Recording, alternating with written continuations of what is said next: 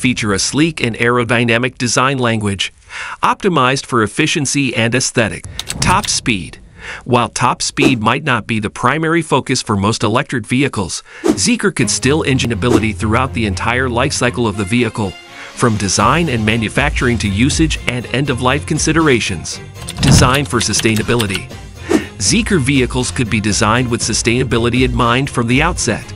This might involve using eco-friendly materials, optimizing aerodynamics for efficiency, and prioritizing recyclability and reusability in component design. Energy efficiency. Zeekr vehicles could prioritize energy efficiency to minimize resource consumption and emissions during operation.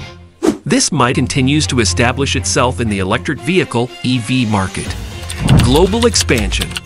By 2024, Zeekr may have expanded its presence beyond its initial markets. Initially launched in China, Zeekr could have started penetrating other key regions such as Europe, North America, and potentially emerging markets where there is growing demand for electric vehicles. Increased production capacity. To meet growing demand, Zeekr might have invested in expanding its manufacturing capacity. This could involve the construction of new production facilities or the scaling up of existing ones to ramp up production or preferences. This broader range of offerings could increase Zeekr's appeal and availability to a wider audience. I hope you like our video. If you like, don't forget to subscribe our channel for more videos and share your thoughts and comments down below.